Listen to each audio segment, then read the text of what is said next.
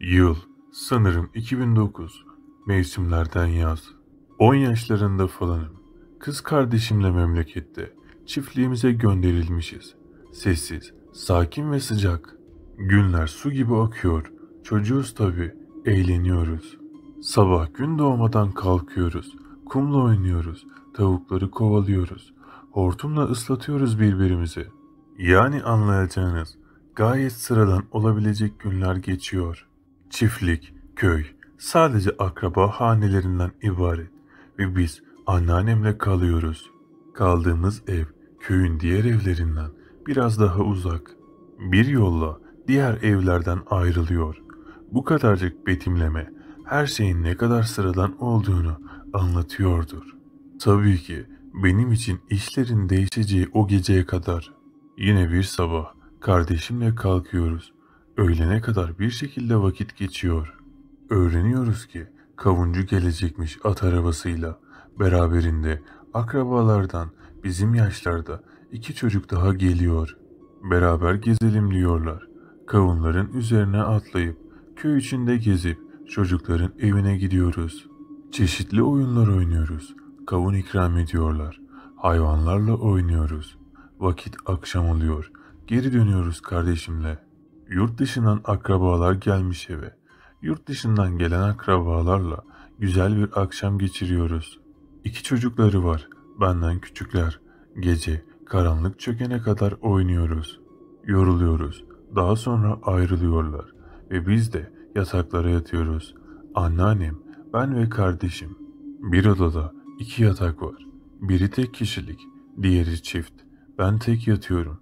Diğerinde ise kardeşimle anneannem. Benim ayak ucumda odanın siyah kapısı var. Benim yatağım duvara yapışık ve kapıda yanımdaki duvarda. Aynı pozisyonda paralelimde ise diğer yatak var. Kapının dili olmadığı için devamlı açık ağzına kadar. Neyse aynı gece ben hiç hissetmediğim bir huzursuzluk hissediyorum ve gecenin karanlığında gözümü açıyorum. Saat kaç? Hiçbir bilgim yok. Midem bulanıyor ve vücudum yanıyormuş gibi hissediyorum. Yorgana sıkıca sarılarak yatan biriyimdir. Hissettiğim yanma ve mide bulantısı kötü hissettirdiği için yorganı üzerimden sıyırıp hafifçe doğruluyorum. Doğrulmamla beraber dehşetle yorganı geri başıma kadar çekiyorum. Kendimi duvarla yorgan arasına sıkıştırıyorum. Kalbimin atış sesi kulağımda. Oda karanlık ama objeler kabaca belli oluyor. Ben de kapının önünde birinin dimdik beni izlediğine eminim ama benim onu görmemle odadan çıkması bir oluyor.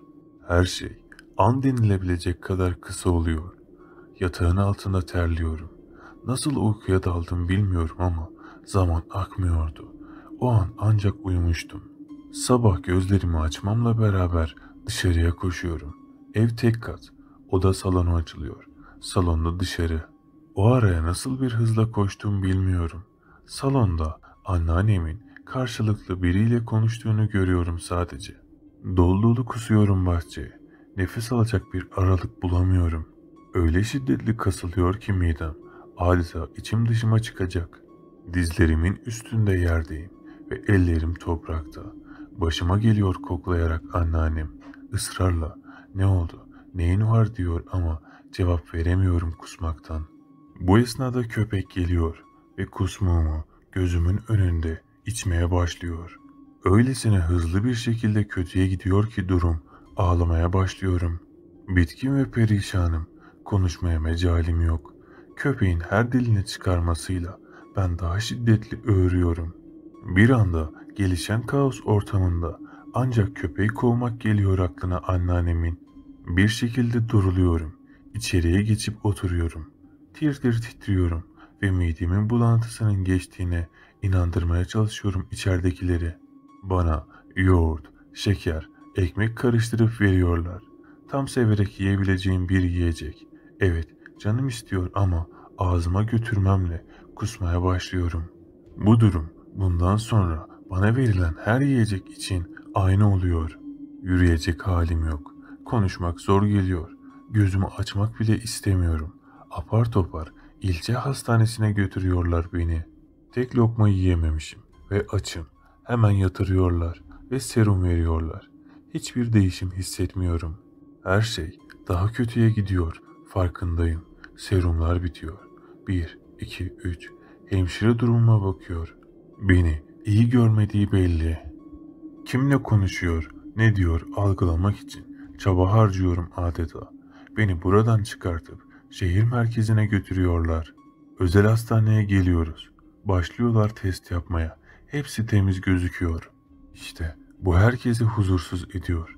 Neredeyse 24 saattir acım ve tek lokma yiyemiyorum. Ağzıma ne götürürsem şiddetle kasılıyorum. Yine serumlar bağlanıyor ve bir şekilde uyuyorum. Yanımda anneannemle kız kardeşim dönüşümlü refakatçi kalıyor. Ertesi gün oluyor ve bazı akrabalar ziyarete gelmiş. Ben çok yorgunum ve düzgün düşünemiyorum. Hayat adeta renklerini kaybetmiş. Aklımda tek bir düşünce var. Herkese berbat bir tatil yaşatıyorum. Sonra insanlar benimle konuşmaya çalışıyor. İşte o an fark ediyorum. Konuşamadığımı fark ediyorum. Ağzım pamukla dolu gibi. Kelimeler puf puf olmuş adeta. Doktor belli aralıklarla geliyor ve benimle konuşmaya çalışıyor. Ona gördüklerimi anlatmaya çalışıyorum. Hastane duvarında konuşup kavga eden, ne dediği anlaşılmayan, şekil değiştiren çizgileri anlatmak istiyorum ama gücüm yetmiyor. Sadece bir şeyler gördüğümü ifade edebiliyorum. İçeridekilere dönüp uçakla başka şehre sevk edilmem gerektiğini söylüyor. Anneannem perişan vaziyette. Torunum sağlam geldi. Hasta ettim diye düşünüyor. Ben artık dayanamıyorum. Bütün gücümle ağlayarak zor da olsa çıkarın beni buradan diyorum. Bunu dememle beni yakınlarda bulunan çok tanıdık bir mollaya götürüyorlar. Koluma girip arabaya kadar götürüyorlar beni. Bir sürü kişi doluşup bir caminin önüne geliyoruz. İçeride iki ev var ve sanırım caminin arka bahçesindeyiz. İnsanlar birbirini tanıyor, selamlıyor. Ancak ben yabancıyım. Molla yaşadıkları evin yanında olan biraz daha ufak yere alıyor bizi. İçerisi sessiz, serin ve geniş. Etrafta minderler var. Bir de kendi masası. Salonun ortasındaysa kocaman bir boşluk var. Masanın önünde bir sandalyeye oturtuyorlar beni. Tabi bu esnada insanlar anlatıyor durumumu. İçeride anneannem, kız kardeşi, yeğenlerinden birisi ve hatırlamadığım biri daha var. Molla bana sorular soruyor ama ben konuşamıyorum. Tümden konuşma yetim kaybolmuş ve inanılmaz bitkinim. Sadece ölsem de kurtulsam diye düşünüyorum ama ölmek için bile fazla yorgunum. Bir kağıda yazılar yazmaya başlıyor Molla. Dua olduğunu düşündüğüm şeyler söylüyor. Elinde uzun bir daldan sopa var. Masanın bir ucundan uzatıp omuzlarıma dokunduruyor ve anlamadığım şeyler söylüyor. Bir sıra ritüeller uyguladıktan sonra Arapça yazılar yazdığı kağıdı ufak parçalara ayırıyor. Ne zaman masaya konduğunu hatırlamıyorum ama bir bardak köpüksüz bir ayranın içine döküp bu kağıt parçalarını iyice karıştırdıktan sonra benden içmemi istedi. Bardağı elime aldım. O ana kadar ağzıma neyi yaklaştırırsam püskürterek kusam ben hiçbir şey hissetmedim. Ayranı gerçekten kana kana içtim. İki günün ardından ilk defa bir şeyler yiyebilmiştim. İşte burasını gerçekten anlamıyorum. Adeta ruhum geri döndü. Nasıl tarif edeceğimi bilmiyorum. Bir yenilenme, bir eskiye dönüş yaşadım adeta. Duygu durumum hızla değişiyordu o esnada. Ayranı bitirmemle beraber kendimi salonun ortasına attım. Bambaşka bir duygu içerisindeydim ve bunu hayatımda bir kez yaşadım. Bulutların üzerinde olmak gibi bir his. Hüngür hüngür ağlamaya başladım. Anneanneme baktım. Konuşabiliyorum dedim. Benimle beraber içeridekiler de ağlamaya başladı. Dolu dolu ağladıktan sonra elime yüzlük sıkıştırıp mollaya vermemi istediler. Beni dışarı çıkartırken içeride anneannemle molla fısır fısır konuşmaya başladılar. Ancak ben ne bir kelime duydum ne de umrumda oldu ne konuştukları. Tek bildiğim bunu takip eden günlerde bir tomar Arapça yazılarla dolu kağıdın içtiğim içeceklere doğranıp bana içirildiği oldu. Tabi yaşadığım bunca şey çabuk düzelmedi. Ama bir şekilde atlattım. Hala zaman zaman geriye dönüp soruyorum. O gün orada Molla'yla ne konuştuklarını ama kimse hatırlamıyor. Bana bir kişinin nazarının değdiğini söylüyorlar. Ne bileyim işte bir şeyler oldu ama ben de anlamıyorum.